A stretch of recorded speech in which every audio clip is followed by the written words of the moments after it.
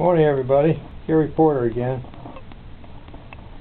I want to show you my uh, new spark gap here as soon as I get the camera ready. Uh, what I've got, I've got a little DC motor, 18 volt here.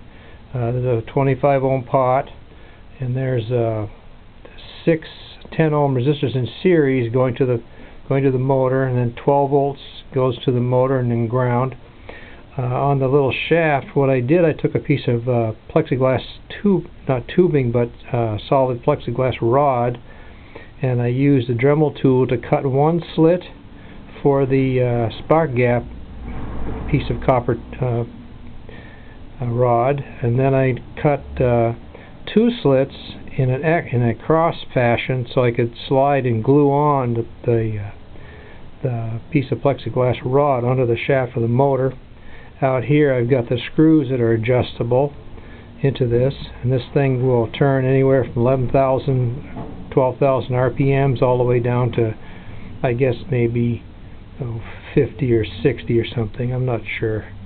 But uh, a little further out here I got a couple of diodes three microwave diodes in series going through a coil going back through to the other second battery in the back and uh, these caps right here get charged up to anywhere from two to oh I don't know maybe I can go to like four thousand on these two caps.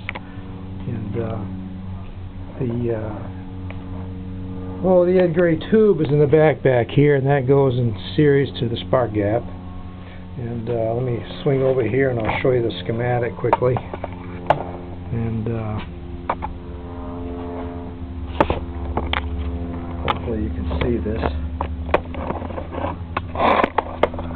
about mess, but that's the way it is. Okay. And uh, what I got here is the inverter, variac, transformer, a couple of diodes going out to a cap, and then the Ed Gray tube, the rotary spark gap, through a diode coil, a second battery. Uh, grids go through a diode to a cap. I'm just going to use this for testing.